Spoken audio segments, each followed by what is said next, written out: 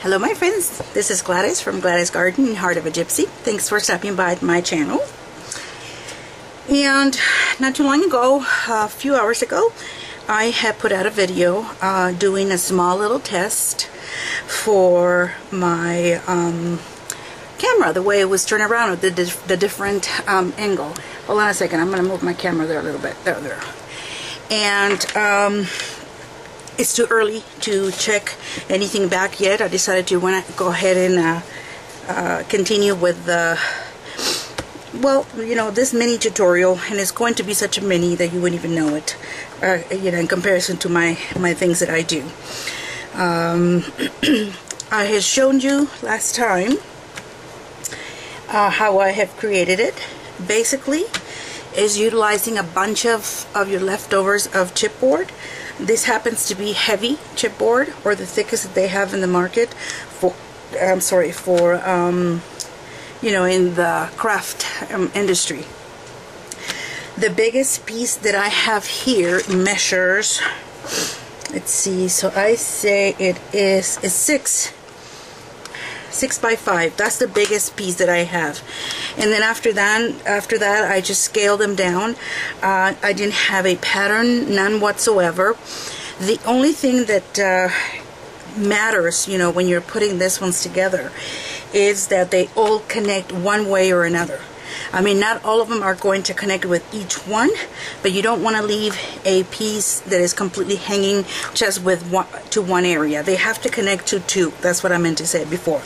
So they must connect to two items, and it's you know because if you don't do that, it kind of it becomes um, very weak, and it's easier uh, to injure the piece or to destroy, you know, to fall apart.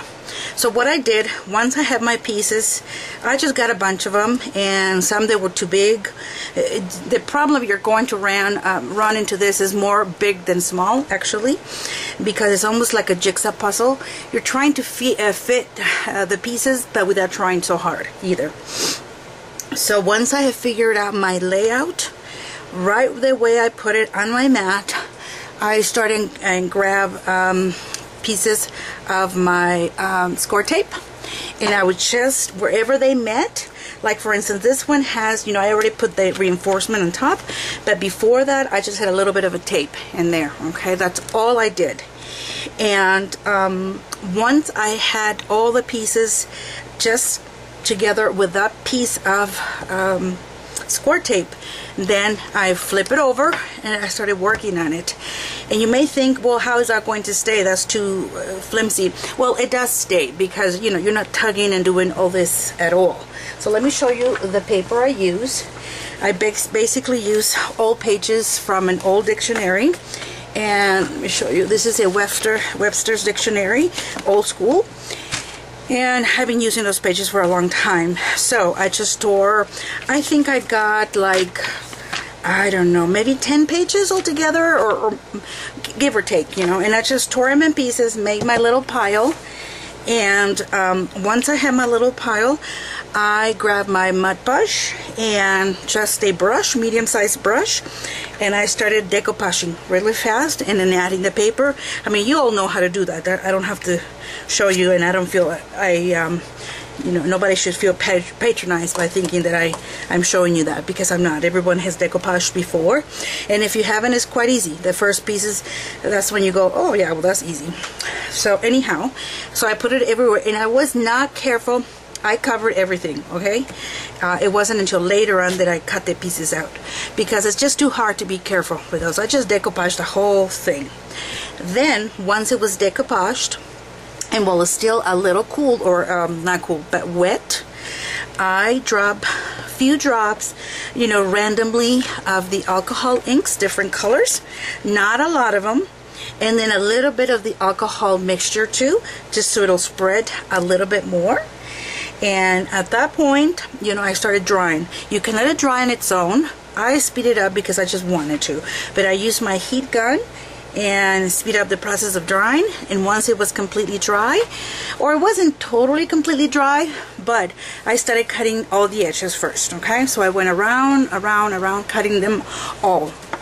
Once I cut all those I flipped them out or flipped my uh, uh, frame out and um, I use my um, any cutting board you know that you can cut. This is one of I think is a Fiskars. Yeah I use that and with my any X-Acto knife I use my Prima just because I love that one uh, right here and I started cutting all around it.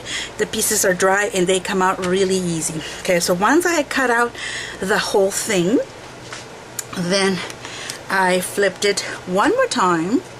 Then I put, um, what is this one called? Saddle Brown stays on okay? So it was already distressed but I used a lot uh, yeah, just went over it like this to create that uh, particular color. And then I used I think it was a blue mist um, and this is from Perfect Pearls. So it doesn't give you a lot of color just has a little bit of shimmer which I don't even think is going to make a lot of difference. It didn't show up that much but that's what I did. Once that was completely dry then I uh, went ahead and used it has to be this is a um, oh my, a sanding block okay? So it has to be a block because this is this is what you're going to do. You're going to go in the, the, the little group right there and start doing that okay? And yeah that takes care of all those corners like that. And for the inside I use just about any um, let's see. Let me see if I can bring those little tools. I use this but not I didn't use them as much. Let me see. And these are from uh, Basic Grey and I've had them for a long long time. I hope they still make them but I do like them. They're it's a bunch of little files different sizes. So I use those to, to the for the inside parts okay?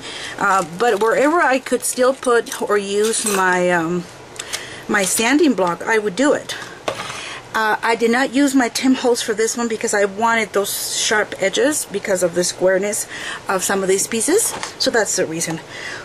And uh, once the whole thing was nice and cleaned from every any extra paper there and it was dry I added one more coat of decoupage or you can use uh, matte medium or uh, gloss uh, medium from Claudine Hellmuth. Either one would work.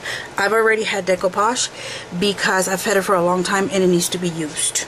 I don't really buy it anymore. It's a great product but I, I still like I'm partial to the matte medium by um, Claudine Hellmuth. So that's where you saw the last video. That's where I had stopped and so I had turned it you know my product or my frame over and then I decided just to do sort of a stain color in the back. Uh, but before that before I forget that I cut a bunch of other little pieces of the same type of heavy chipboard. Enough for me to unite the two pieces where I had the you know the um, my um, score uh, tape. But on top of that I added hot glue on it and I already had the the you know the tape exposed there and I just added to that. So on every um, you know in every in every encounter of uh, two pieces of uh, or two pieces of chipboard got united that's where I put that. But make sure it's not big enough that you can see it on the other side. If I turn it over you won't be able to see it. It, it looks quite nice and clean. So that's where we are at. Let me go and check on my um, some things that I need to take care of and I'll be right back to continue the video okay? See you in just a bit. Alright my friends, I just finished uploading my first video. Uh, it just takes a while to load up. But anyways, uh, let's continue uh, with uh, my collage frame, um, picture frames, whatever. Alright, so I like to add some of my um, Inka Gold paste to this. I don't know what colors I want. So I'm gonna open I'm gonna open every one I have and then go from there. Um, some of mine are really old and dry, but there's a remedy to that. Just spray some water in them and they work. Oops, sorry. I mean, look at this. But, you know, this still works really well. Look at that. So, not throwing that puppy away. And I am going to spray just a tiny bit of water there. And that was um, lavender hydrosol. Um, that's one of my cleaners because I don't, um, I'm so allergic to so many chemicals, you know, that that's why in this industry it's very important for me to use products that are um, earth friendly or environment friendly because then they will be friendly to me. Okay, so I'm thinking that, um, as you can tell, this is the one that I've used the most, Platinum. It just goes really well with a lot of things. And I am just going to, I think I sprayed some water in here. I'm just going to start applying it different places. I don't have a pattern, you know, whatsoever. And, and see where we go from there. We're just going to work some of this nice metallic looks into it. And um, we'll see what turns out. I have no idea how whether this is going to be one of those treasured or trash at the end of the day. and I do a lot of things like that. Sometimes I have this idea that pops into my head and I go, yes, I can't wait to get to my desk and start, you know, putting it to practice. And then once I start, I go, ew, not, not going to work. All right, um, let's see. I like green as you can tell. I'm going to switch to the orange right here or and that's orange because this is the copper okay so this is orange copper I'm gonna see how and I think this orange is a little too much on the orangey I don't want to totally cover it either because I want the the newspaper print to not newspaper but you know my the papers that I use to collage the frames to kind of show obviously to a point and see how that works.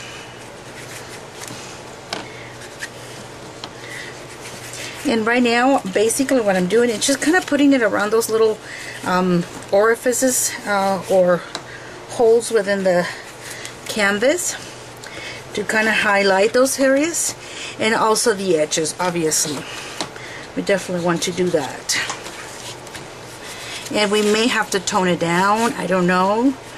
Right now I'm just going to apply it. What, what's the beauty about this products is that um, the Inka Gold Paste is that, um, you know, if, um, if, okay, let's just say, oh, I didn't like that at all. That's horrible. Look what happens. Just put a little bit of water and look, it's already out. It's clean. So see, it's I, I like that. Now once they kind of cement in there, they kind of do, you know, you can't totally erase them. Um, but they're, I really do like them. You know, I love, I love the look, and they're um, environmentally clean for me. Can handle them. I also love the, um, oh, what are this other ones that we used to use before we had this? The um, rub and buff, and I still do, and I still use them, but they're just so hard, harsh on me with my chemical sensitivity disorder that I um, I try to limit my exposure to them. It's like having, um, you know, I don't know, rubber paint on you or something. I don't, I don't know. You know, the people that get hooked on um, smelling paint and things like that, I'm like, wow, how can you do that? But they do. So let me close this one. And then I have this darker one here. And this is, um, I don't know what it's called. This one is called, what, this one doesn't have any name? Whatever. It probably does, I just can't, I, I can't see it. It's almost like a pewter. And I'm to go around these edges here because, oh, I don't think I'm to like that. Yeah, no. It's turning, it's turning a little too, um, too dark for my taste in there. And, um, that's not what I was looking extremely metally, but without without being pretty. Okay, let's try this other one, this pure gold, to kind of counteract that effect right there. Can you guys see that let's see. I think you can a little bit.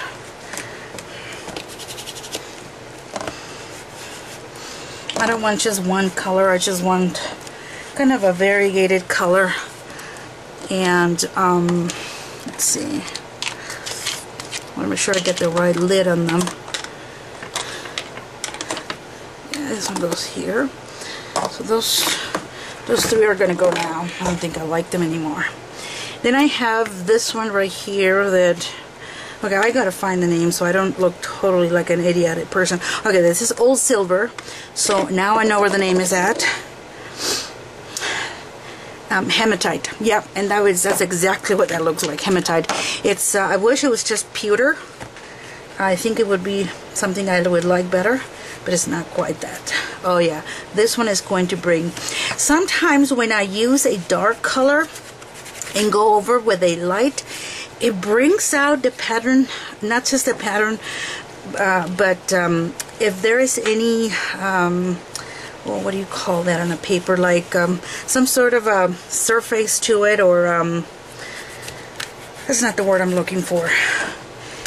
But you know, if like the paper is engraved or anything like that, those patterns come up really nice. And between this, um, which is old silver and platinum, I've been able to really like them. you know, their, their effects on a lot of our, a lot of the projects that I make. All right. See, all these ones I already gone over with some other darker colors. And when you put that clearer or lighter into the whitish look, it's um, it comes out really nice for some reason. And again, remember, you know, if you didn't if you didn't like that or that's not what you were that's not the effect you were looking for, then clean it up. Just a damp paper, uh, damp, not a damp paper. Sorry, is there any kids there? Sorry, I didn't mean to cuss there. Um, damped paper, not the other. Anybody remember the movie of um, Chevy Chase when he was uh, you know, in traveling to, I think it was in Las Vegas or something, and he goes to to the Roosevelt, uh, Roosevelt, is it the Roosevelt uh, Dam? Can't remember. But anyways, that big old dam that we have between Arizona and, uh, Nevada. So he goes, I mean, I think I mean it's hilarious anyways. But, um, so he's in the crowd and and he, uh, he says, I have a damn question for this damn guide. so my husband and I, it's the biggest joke in the world. So sorry if anybody didn't find that funny, but I did. All right, I'll behave, I promise. Something a little really hard for me, but I'll try. All right, so, oh my God, I need to really behave. Um, joke aside and everything, um, this is what I come up with, and I think, I think I like it. Okay, so there you go. You can see this whole thing right there. Alright, so my next step, and I might still go later on with some touch-ups on it. Oh, I have another one here. This is pure silver. Well, let's find out what this one does. Ooh, that's kind of nice. They kind of too close to the other one. Alright, so let's uh, close that one. And close this other one. And move on. Oops. That's why they're dry because I sent me a flyer. It says, hey, you need to be nice to our products. I am nice. I love these products. Alright, now they're closed correctly. Okay, so the other thing I wanted to do, I want this puppy to be metalled up. And when I say metalled up, I mean I want to use a lot of metals into it. And something that I've had for a long time and that I've used very sparingly really it's a lot of this uh, corner um, holders for books or pages or whatever you want. And I think they're beautiful and um, I have a lot of them because they're through a company that uh, is called American Tag. I'm sure you all know it. And they're the ones that make this huge tool amazing amazing tool. And it is called the purple monster. Believe it or not. Well this machine does a lot of things. It doesn't just do, you know, punches your holes and then puts your grommets or your eyelets. No, that's just the least of it. It has a, a corner puncher, um, not a puncher, but um, to apply this ones to my corners. And I thought, you know, I have a lot of corners here, lots of corners. So I think it would look really cool. Now my decision is between, do I use, do I use black or do I use, um, what is that, that like an old, um, it's not gold, but it's like a what would you call that like brass? Well no because this would be brass. Let me show you. This one would be brass and I, am not using that. Um, well, like an antique brass maybe. That's what it is. So let me show you how this puppy works. I already put my little tool in there that is going to or my little bits that is going to press that and all I have to do once I, I notice that there's a little trick to them once I put them before I put them in it I kind of I kind of press them just a tiny bit because I notice that when you press them in to be in contact with the paper they kind of squash out a little. So I kind of pre um, pre-press them a little bit with my hands just a tiny bit okay? And that way it secures the whole thing and see and they still do they still do that. So then there it is. So you have to kind of work with them. But look oops there's my I'm trying to work with this new camera. There we go. Right there. So let me press it one more time. And I'm to go with some some sort of acrylic over it so it kind of stays so isn't that pretty? So now I'll show you the black. And then you guys can uh, can let me know which one you like the best. Or I can do or I can do a collage of both. No, I'm not going to do that. That would be ridiculous. Yeah, I don't think I would like the both of them. But let's look at both of them and let's make a decision. See, I think the black stands are really pretty. Black was my original, oops, let me see if I can grab this. Black was my original color that I wanted because it kind of breaks everything else. But I don't know. What do you guys think? Well, let's see. Well, I think I'm going to go with a black. That was my original thought. And I think I'm right on that. So I am going to go for that one, okay? All right. So let me put all of them and I'll be right back.